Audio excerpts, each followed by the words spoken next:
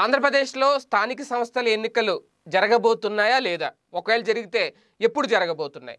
ఒకవేళ ఎన్నికల విషయంలో నిమ్మగడ్డ రమేష్ కుమార్ గారు ప్రస్తుతం ఎలక్షన్ కమిషనర్గా ఉన్న నిమ్మగడ్డ రమేష్ కుమార్ గారు ఆంధ్రప్రదేశ్ ప్రస్తుత ప్రభుత్వానికి ముఖ్యమంత్రి జగన్మోహన్ రెడ్డి గారు ఒక షాక్ ఇవ్వబోతున్నారా? అదే ఇప్పుడు జరుగుతున్న ప్రచారం. అయితే ఎన్నికలకు సంబంధించి ఎటువంటి షాక్ ఇచ్చే అవకాశం ఉంది నిమ్మగడ్డ రమేష్ కుమార్ గారు అనే దాని మీద ఇప్పుడు ప్రధానంగా చర్చ జరుగుతోంది. ఎందుకంటే అసలు ఈ ఎన్నికలకు సంబంధించి ఎటువంటి నిర్ణయం తీసుకుంటారు అనేది కూడా సర్వత్రా ఇప్పుడు ఆసక్తి రేకెత్తిస్తున్న అంశం. ఎందుకంటే హైకోర్టు ఆదేశాలతో అలాగే గవర్నర్ గారి ఉత్తర్వులతో నిమ్మగడ్డ రమేష్ కుమార్ గారు మళ్ళీ రాష్ట్ర ఎన్నికల కమిషనర్గా నియమితులయ్యారు. సో ఇప్పుడు ఇక్కడి నుంచి ఆయన ఏ విధంగా స్థానిక సంస్థల విషయంలో ముందుకెళ్తారు అనేది నిజంగా ఆసక్తికరమైన అంశం. ఎందుకంటే కరోనా వ్యాప్తి తగ్గిందా అంటే హండ్రెడ్ పర్సెంట్ తగ్గలేదు. గతంతో పోలిస్తే ఇంకా ఎక్కువైంది. సో ఇటువంటి టైంలో ఎన్నికలు నిర్వహించడం అనేది నిజంగా గతంలో ఏ రీజన్తో చెప్పారు? ఇప్పుడు అంతకు మించి పది రెట్లు ఎక్కువ ఉంది కాబట్టి ఖచ్చితంగా రీజన్ అది కరెక్ట్ అయితే ఇప్పుడు ఎన్నికలు నిర్వహించకూడదు.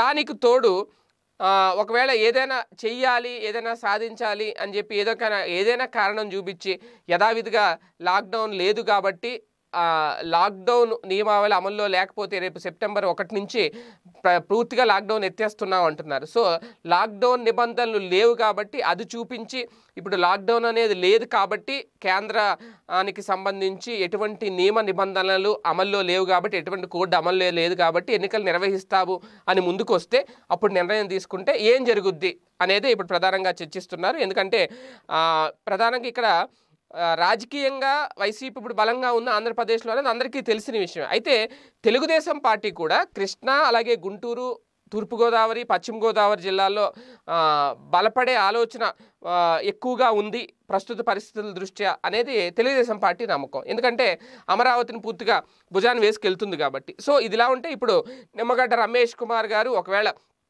ఎన్నికలకు సిద్ధమైతే గతంలో ఆయన ఏకగ్రీవాలు ఏవైతే ఉన్నాయో వాటిని రద్దు చేయాలి అని చెప్పి తెలుగుదేశం పార్టీ ఒక డిమాండ్ని తెర మీద తీసుకొచ్చే ఆలోచనలో కూడా ఉంది. అదే కనుక జరిగితే ఆయన కూడా ఎన్నికల నియమావళి ప్రకారం గతంలో ఆయన ఏకగ్రీవాలైన వాటిని రద్దు చేసి మళ్ళీ మొదటి నుంచి ప్రక్రియ స్టార్ట్ చేస్తారా? మళ్ళీ ఎన్నికలకు వెళ్ళాల్సి వస్తుందా అనేది. ఎందుకంటే ఏకగ్రీవాల విషయంలో కూడా వైసీపీ నేతలు అప్పట్లో చాలా దూకుడుకు వెళ్ళారు దౌర్జన్యాలు చేశారు ఇలాంటి రకరకాల ఫిర్యాదులు చేసింది తెలుగుదేశం పార్టీ కేంద్ర ఎన్నికల సంఘానికి.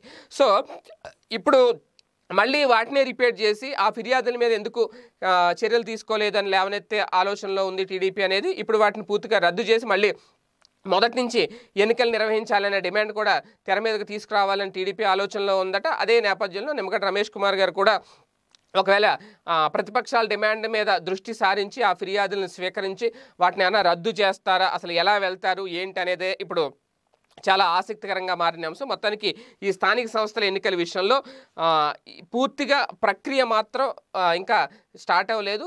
ఒకవేళ గతంలో ఉన్న ప్రక్రియను ఎన్నికల ప్రక్రియను మొత్తం రద్దు చేసి వెళ్ళే అవకాశాలే ఎక్కువగా ఉన్నాయి అనేది కొంతమంది రాజకీయ విశ్లేషకులు చెబుతున్నమాట ఎందుకంటే ఎలాగో ఎన్నికల నియమావళి ప్రకారం ప్రక్రియ వాయిదా పడి ఆరు నెలలు దాటింది కాబట్టి ఖచ్చితంగా రద్దు చేసే అవకాశాలు ఎక్కువగా ఉన్నాయి అనేది కొంతమంది రాజకీయ విశ్లేషకులు చెబుతున్నమాట చూడాలి ఏం జరుగుద్ది అనేది ఫైనల్గా.